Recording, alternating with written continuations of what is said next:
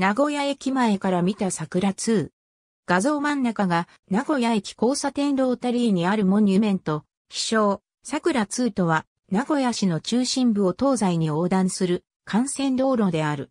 愛知県道68号名古屋津島線、国道19号のそれぞれ一部と名古屋市道と通り布池線の全部から構成される。桜2のイチョウ並木。日銀前交差点歩道橋上より名古屋駅方向。2014年現在の桜通りは名古屋駅交差点を西端、内山町交差点を東端としているが、そのうちの名古屋駅交差点から日銀前交差点までは愛知県道68号名古屋津島線、日銀前交差点から小川交差点までは、国道19号、小川交差点から内山町交差点までは、主要地方道名古屋市道と通り布池線となっている。桜2の道路愛称は、一般からの公募によって決定したものである。1984年に名古屋市が市内の道路の愛称を公募した際に、従来から用いられていた通称をそのまま道路の愛称として制定した。もともと現在の道路ができる以前は、菅原通と呼ばれる幅の狭い道であり、堀川に架かる桜橋もなかった。決定した桜通の名称の由来は、通り沿いの中区近にある桜天神社からであり、桜天神社にはその旨を記した石踏みがある。通り沿いには一部の交差点に、街路樹として桜が植えられているものの、桜通にはいわゆる桜並木はない。泥棒町交差点日銀前交差点間にある、イチョウ並木は、1995年2月27日付で、名古屋市の都市景観重要建築物等指定区間に指定されている。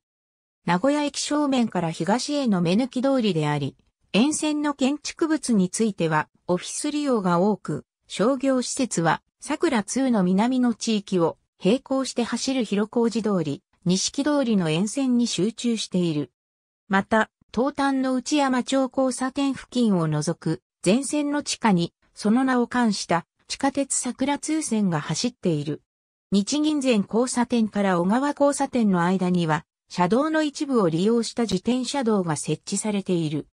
開通80周年記念事業として中部地方整備局が中心となり、日銀前交差点から小川交差点までの国道19号の区間約2キロにわたって桜並木を整備する方針が発表されている。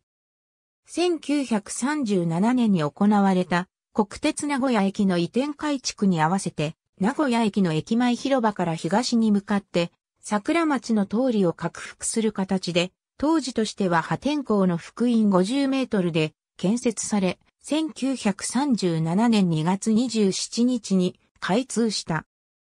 建設時は東桜町までが拡幅されただけであったが、太平洋戦争後の戦災復興の一環として、内山町交差点付近まで拡幅された。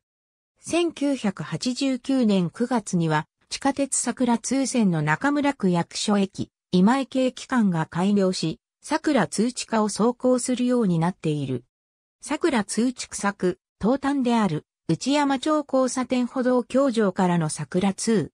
西側から東側に順に記述する。夜の桜通。セントラルブリッジより。名古屋高速都心環状線都名駅の超高層ビル群西側から東側に順に記述する。ありがとうございます。